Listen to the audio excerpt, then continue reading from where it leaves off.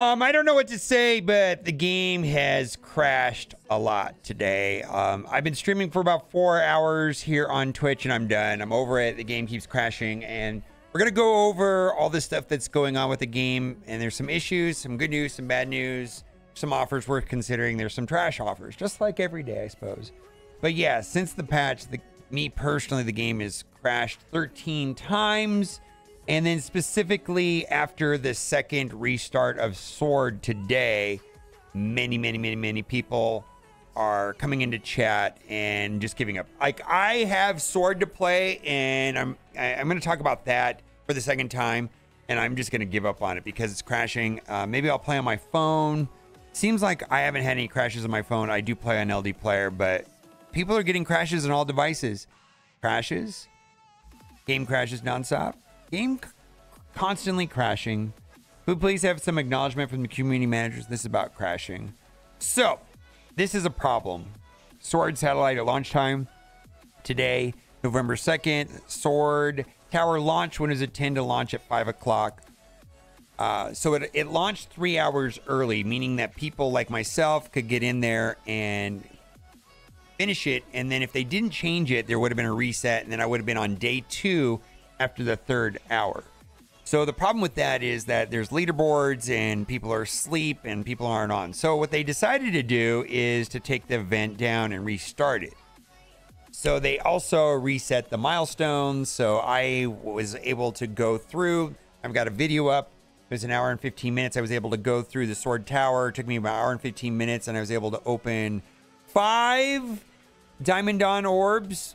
I did only get one drop that was useful. It was a two diamond uh, sunfire, but there were a lot of people in chat that were in the middle of tower that did not collect their milestones, and then it was yanked.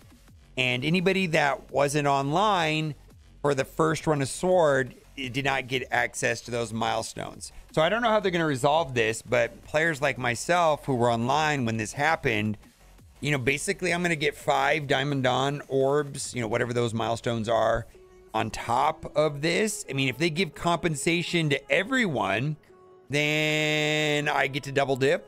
I don't know. I, I don't know what to do. This is another take. The problem is, too, is this. The problem with this also is this happened once before on Tower. This is the second time this has happened. And then this, it's a little more nuanced than that. And Rastlin has an excellent post right here. Please fix the character Blitz refresh timer Moving the satellite start time is fixing the wrong problem. The real problem is Blitz now starts at 2 o'clock, but the character cooldown was never changed. The daily Blitz character cooldown timer needs to be moved up three hours to remain the same time for Blitz and event starts. So it's not just a tower problem, it's a Blitz problem also, right? It's like, holy moly, right? This will make Blitz satellite events fair to all players, regardless of where they live or their work life schedules. Otherwise, every Blitz event, some players will still be able to get in the extra rotation for three hours that other players cannot take advantage of. And so that's the same problem that was happening with Sword. Now, good news is that we just got compensation in the mail, and I, I feel like this was well received. Um, pretty much three days in a row, made videos about the Zombie Juggernaut event being not player friendly. I, I can't think of uh, an um, a character release, character release that involves money, right? Uh, I'm not talking about Apocalypse or Dormammu or Super Skrull. I'm talking about like offers that was less player friendly than Zombie Juggernaut. It's it is. So, anyways, restart your game, check in. There's a bunch of uh, it's two separate emails. One email will be that, and then the second email and that. Uh, largely, this is well received. Uh, I think people are okay with that. Okay, so Diamond stars are here. I've opened a total of six. And by the opening of six, you know, a lot of them I got duplicate elites and I, you know, then you get a, you know, you get more elite sevens. So I'm sitting on some elite sevens and now I'm sitting on 48 um, diamond promotion credits. I don't know what they're exactly called. Uh, let's go take a look at them. I've got them here. So I got these um, you go right here, you can see that I've got 48 silver diamond credits. Now, if if I was like scrolling through here and I saw like a high value character like Kestrel or King, uh, or if I actually had a seven red Robbie Reyes, that'd be a character I'd be pretty excited about. I would probably need to make a list, uh, a video about like top 10 characters to upgrade, but it's going to be characters like King and Kestrel. Uh, I probably, if, if those characters were showing up, let's say Kestrel or King was showing up, I probably would scroll here and I would convert an Elite 7 to five silver or diamond credits. You know, that would make the number go from 48 to 50. Um, also, I can go into Tower right now and get like five more, and then by opening those orbs, you get on average like 10 per orb. You get a minimum of eight, but I believe there's dupes and things like that. And so, well, there you go. 48 right there. I've opened six and then I've got 48. So that's how it works. But I just wanted to make people aware that this is a thing. And is it worth doing? Well, it depends on what percentage of your roster is at seven red. Also, what percentage of your usable roster is at seven red? So I went through and added up like how many characters I had seven red, and I've kind of whaled out a little bit on those gold promotion credits. I spent fifty dollars twice on three thousand, so hundred dollars for six thousand. So like all the characters that I use weekly, meaning characters that I use in raids, characters that I that I have actually at seven yellow, characters that I use in Alliance War, character in of Crucible, I've largely already upgraded. So I'm in a different situation where even if I pull a new seven red, it's going to be on an older character like Multiple Man or whatever, or OG Doctor Strange. Those are two of the character pulls I had today. It's just not a useful character, right? Because it's completely random. So yeah, at some point I am going to be converting these if it makes sense. I'm still sticking to my plan of, you know, trying to see this number right here, try to keep that number at 35 and they I open them and then they just move up. Look at the game. It's just it, it's probably going to crash right here. Well, maybe it won't.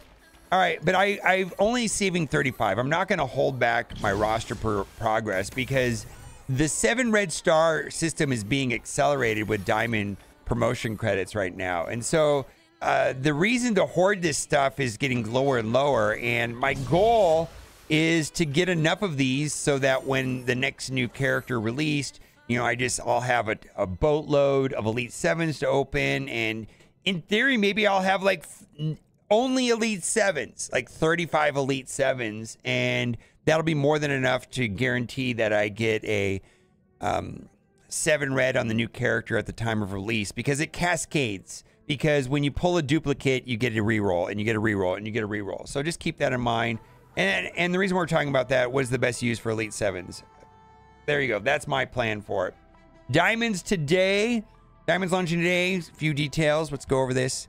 Earn diamonds from Sword Satellite today. There'll be a free claim for a thousand diamond door orb fragments for diamond every day for 20 days. So that's 10 orbs and free claims. And it's it's literally just like the first hit. You know, uh, there's no offers yet.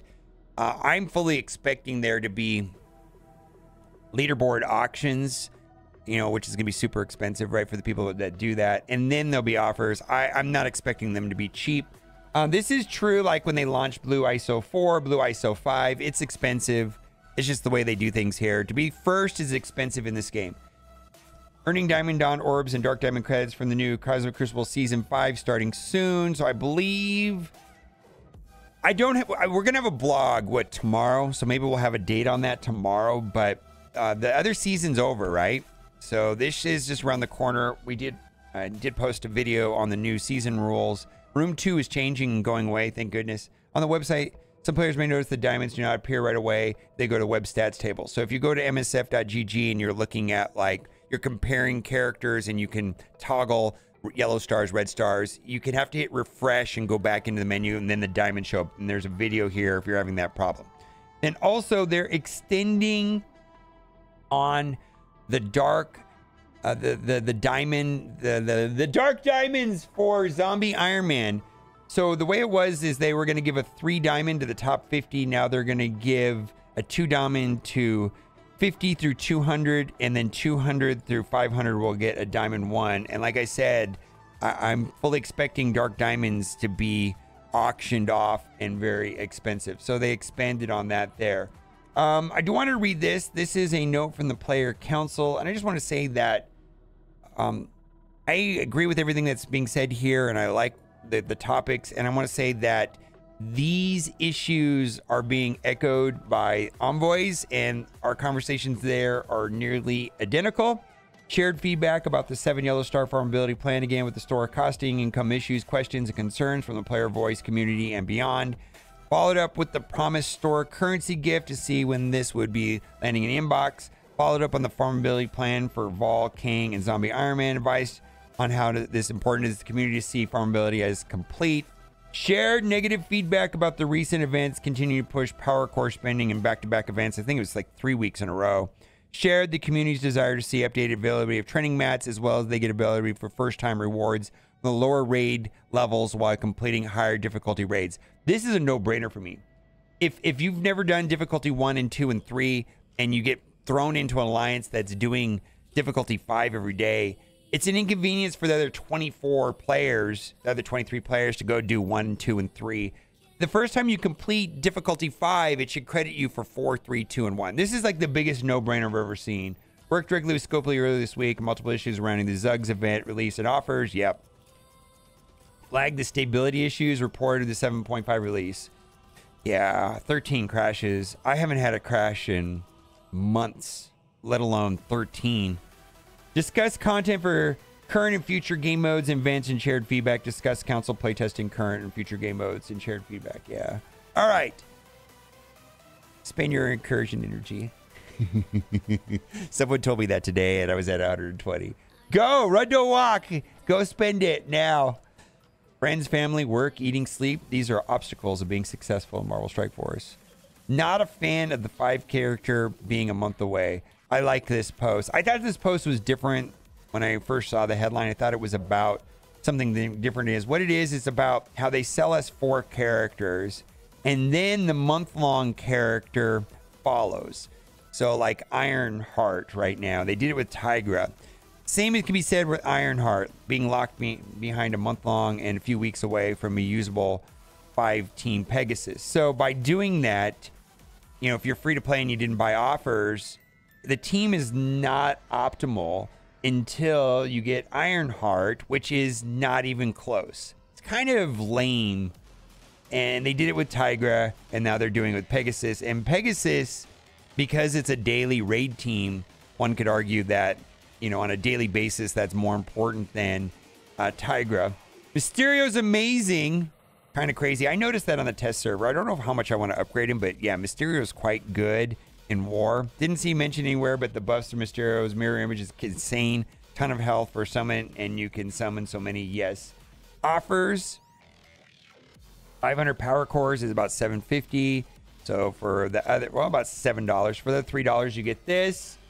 Um, this guy right here, Ronin, is going to be used to unlock Green Goblin. So this would, you know, I might spend the fifteen dollars on this because it'll take me an extra star level. Maybe that'll help me get Green Goblin you're looking for power cores, you get 1650 power cores for $10. Typically, you get 750 power cores for $10. This is in a calendar, so it's spread out over 30 days. Uh, this offer here is interesting to me because this right here is gear tier 18 for $15 and an Elite 7. Elite 7s, I, I, I fear that the Elite 7s are not nearly as valuable as I thought now that these diamond orbs are the Dawn diamond orbs have a 50% chance of giving a 7 red.